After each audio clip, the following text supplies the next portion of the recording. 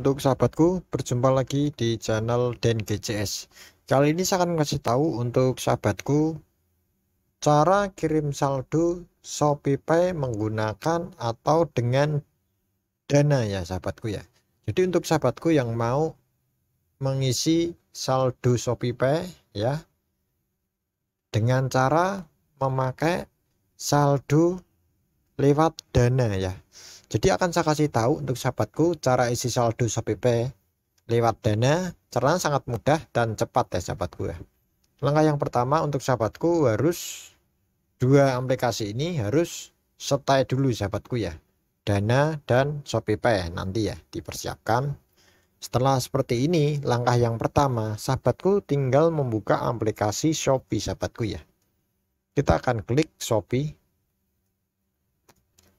Nah, kan fitur awal beranda seperti ini ya kalau di Shopee ya. Tinggal sahabatku klik saja isi saldo Shopee. Nah nanti tampilannya akan seperti ini sahabat. Setelah seperti ini sahabatku tinggal klik saja namanya isi saldo kita klik.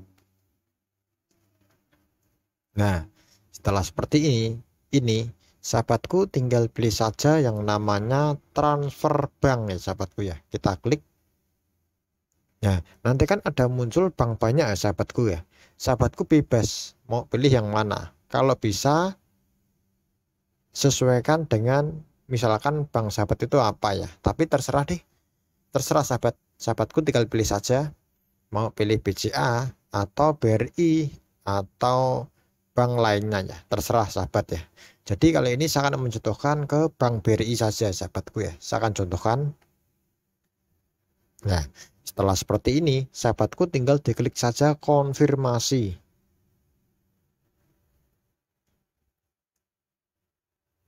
Kita tunggu. Nah, ini sahabat sudah muncul ya. Terus sahabatku tinggal disalin saja ya. Yang tulisannya salin itu kita klik.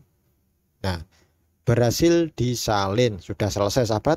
Terus kita pergi ke aplikasi Dana sahabat. Kita akan klik. Setelah seperti ini sahabatku tinggal klik saja namanya kirim sahabat. Nah setelah ini kita klik ini. Terus kita tempel yang tadi kita salin di Shopee. Ini sahabat tadi kita milih BRI ya setelah seperti ini kita klik saja yang bawah ini rekening bank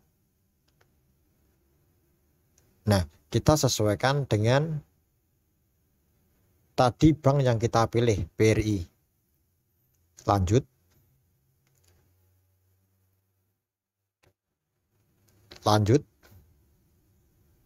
Coba kita klik saja.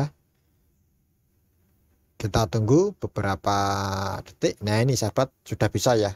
Nama penyedia Shopee Pay. Ini sahabatku ya. Sudah selesai tinggal sahabat. Nah sahabat tinggal masukkan saja nominalnya sesuai sahabat ya. Apa sahabat klik saja yang sudah tertera di yang disediakan ya sahabat ya. Misalkan ini 100.000 atau 200.000 atau 150.000 ya sahabat.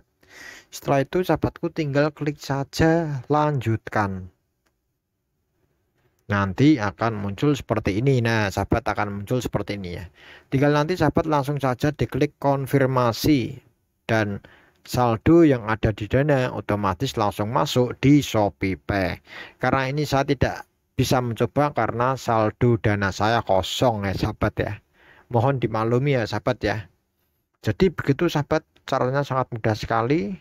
Semoga informasi ini membantu. Cukup sekian dan terima kasih.